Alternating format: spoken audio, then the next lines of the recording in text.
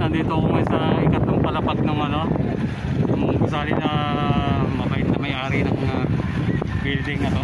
Pinakit niya ako dito sa bahay niya. Para makapag-vlog lang dito. Ayan, ganda ng tanawin. Kita nyo naman. Mamaya mag-harvest na sila dito ng tilapia. Dito. Ngayon, papakita ko sa inyo paano nila i-harvest yung mga tilapia nila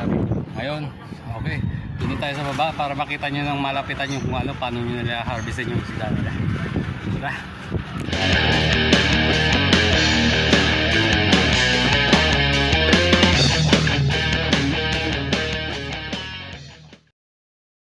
Okay, so ito mga tol, ina-harvest na nila ngayon yung mga tilapia nila. Yan. Yung iba nakalutang na kasi mga nag-collapse yan sa, sa init. Lalaki oh. Ang dami yan. Hanggang baba yan. oh.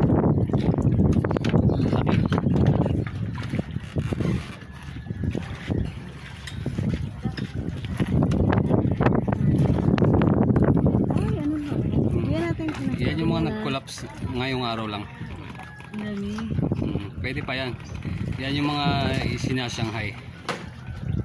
Malaki na yun. Hmm.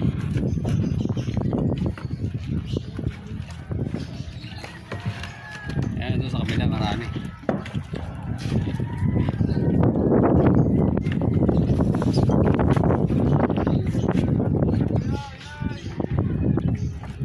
So nandito nga kami sa ano sa pinakababa ng ano, Vulcan Taal. Okay, so ito mag-uumpisa ng harvest yung mga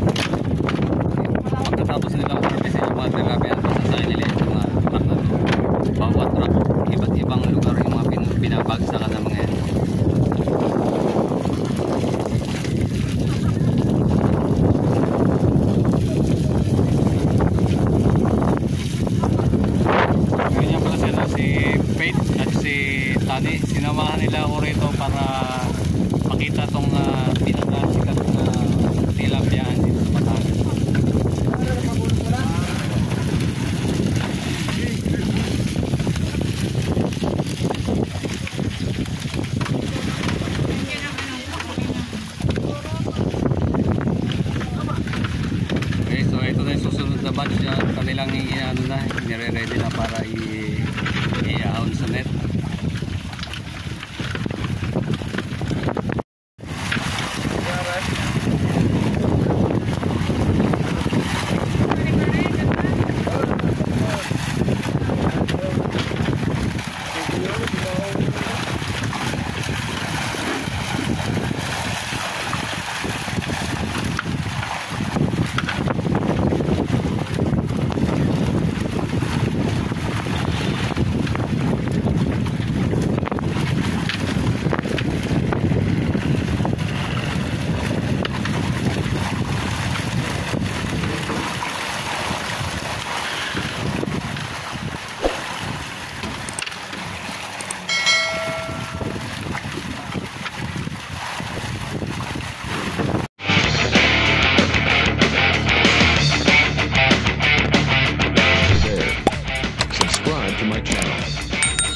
also press this bell icon.